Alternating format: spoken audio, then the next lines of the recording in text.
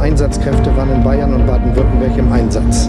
Unzählige spontane Helferinnen und Helfer kommen dazu, Nachbarn, die beim Auspumpen des Kellers helfen, die mit der Schaufel rüberkommen, um die Schlammmassen wegzuräumen.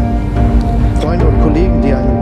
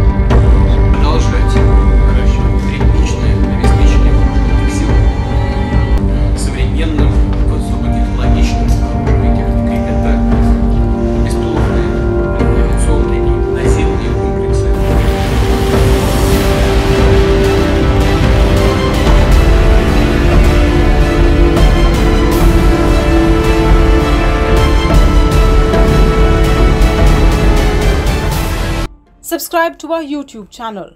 Don't forget to like our videos and hit the bell icon to stay updated with the latest.